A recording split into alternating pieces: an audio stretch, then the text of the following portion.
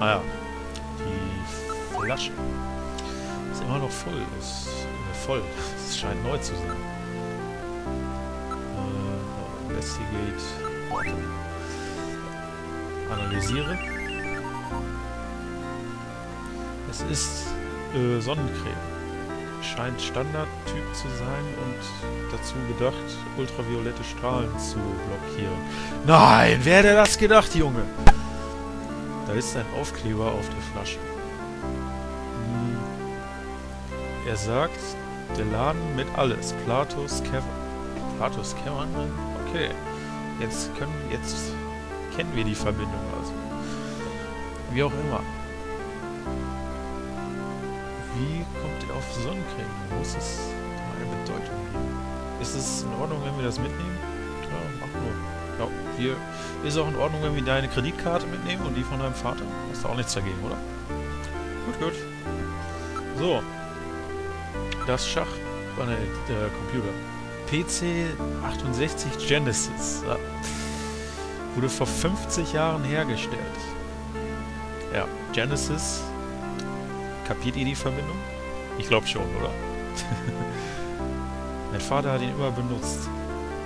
Irgendein Schrottladen hat ihn gegeben und er hat ihn dann repariert. So, hat ein 5 Zoll Floppy... Entschuldigung. Äh, Laufwerk. 5 Zoll, ne? Dann sollten wir vielleicht mal die Disk mit dieser Maschine benutzen. Boah, vielleicht machen wir das mal. Mal sehen, ob er sie lesen kann.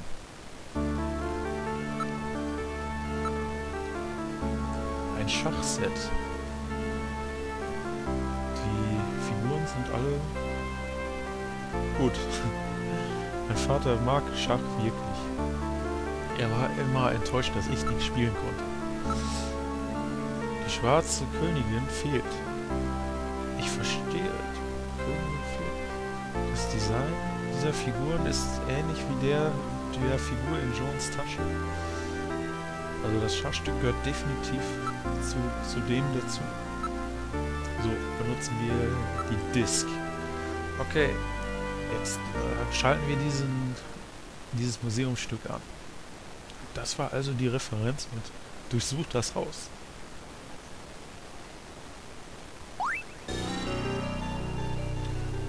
Und der Punkt des Ausrufezeichens war gar kein Punkt des Ausrufezeichens. Es war das Symbol für eine 5 Zoll Floppy-Diskette. Gute Verbindung. Man siehe sich das äh, Muster genau an, des Lesen- und Schreiblochs der Disk. Mit anderen Worten, er meinte, man soll die Disk in den PC stecken. Kein Zweifel, Jean war besorgt, dass jemand, dass etwas mit zu ihm passiert. Okay.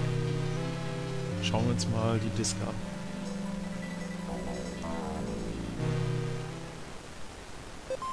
Lange Ladezeiten. Snatcher investigation file. Why does Snatchers appear in the winter? Why are Snatchers nocturnal? I believe I have found the answer to these questions. Snatchers' vampire-like behavior is due to their desire to avoid exposure to sunlight. The reason they dislike sunlight is because of their defective artificial skin. Long-term exposure to ultraviolet rays causes overproduction of melanocytes in the epidermis of their artificial skin, leading to a form of skin cancer with the characteristics of melanoma. In other words, what we call simple sunburn is fatal to them. This relationship between ultraviolet rays and their artificial skin should give us a way to track them down. It should take at least six more months before they can develop a form of skin which overcomes this defect. These conclusions suggest several useful methods for locating and identifying snatchers. 1. Investigate skin condition. Check for any evidence of melanoma. 2. Check for odor. Cancer cells secrete a unique foul odor. 3. The presence of pollen.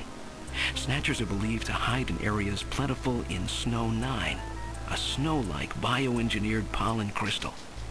As such, Snow 9 can always be detected in places they appear.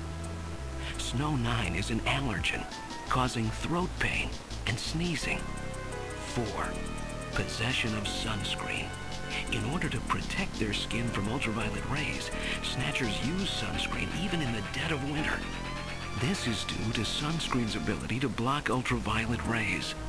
Of these techniques, 1 in 4 should prove particularly useful. In addition, besides working to prevent this skin cancer, Snatchers maintain facilities for treating artificial skin which has actually become cancerous. I have succeeded in identifying the hospital where this is performed. P.S. Watch out for a bounty hunter named Random Hajil. Hm, interessant. Er hat ihren Schwachpunkt entdeckt. Und kein Zweifel, Jean wurde ge getötet, weil er den Ort ihres Krankenhauses gefunden hat, wo sie diese, diese neue Haut entwickelt haben, die sich, mit der sie sich gegen ultraviolette Strahlen schützen können. Okay. Ähm, ich hoffe, ihr habt den ganzen Text da verstanden, weil ich möchte ihn jetzt nicht nochmal im Nachhinein komplett übersetzen. Aber gut.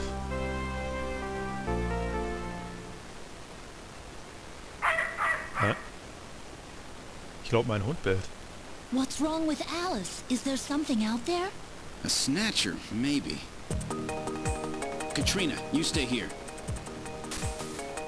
Oh je. Da ist was im Busch.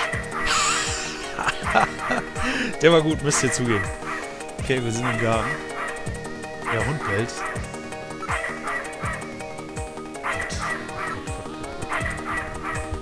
Scheint sehr aufgeregt zu sein. Dort bewegt sich. Ich kann keine äh, Signale entdecken. Ja, Mecklenburg ist auch nicht gut im Umgang mit Kunden. Irgendwas versteckt sich dort.